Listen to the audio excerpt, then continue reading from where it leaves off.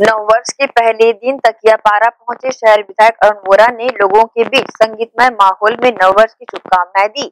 इस अवसर पर कलाकारों के साथ विधायक ने भी गीतों को गुनगुनाया।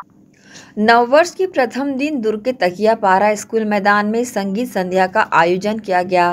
जिसमें तकिया पारा वार्ड के संगीत प्रेमी कलाकारों ने अपनी एक से बढ़कर एक प्रस्तुतियाँ दी, जिसमें शेख अलीम, यूसुफ शरीफ, शारिक अली, शेख मुश्ताक, शफीक अहमद, शमीम भाई सहित दुर्ग शहर विधायक अनवोरा ने भी अपने पसंदीदा गानों को गुनगुनाया। इस कार्यक्रम में चार चाँद लग गया। इस अवसर पर संगीत प्रेमी श्रोताओं ने भी गाने का लुफ्त उठाया। गौरतलब है कि नववर्ष के शुभारंभ के पहले दिन तकियापारा वार्ड में काफ़ी खुशनुमा माहौल देखने को मिला। इसके साथ ही में पहुँचे कलाकारों ने मोहम्मद रफ़ी, किशोर कुमार, मन्नाडे सहित सुप्रसिद्ध गायकों के गीतों पर अपनी आवाज़ को पिरोया। इस कार्यक्रम को लेकर वार्ड के वरिष्ठ पार्षद अब्दुल गनी ने अपनी प्रतिक्रिया दी।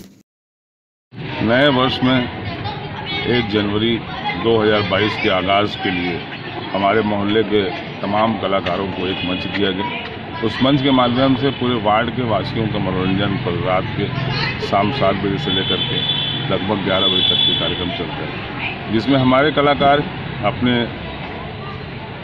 गायन शैली को प्रदर्शित किया।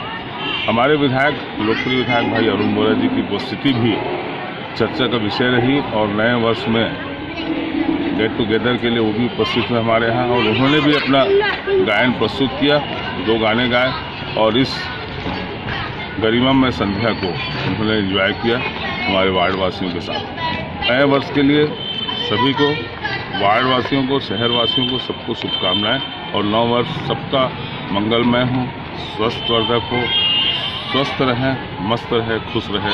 इन्हीं शुभकामनाओं के साथ नौ वर्ष की हार्दिक बधाई बहरहाल, कार्यक्रम को सफल बनाने, बड़ी संख्या में यहाँ पर लोग शामिल रहे। ग्रैंड न्यूज़ के लिए दुर्ग से नसीम फारूकी की रिपोर्ट।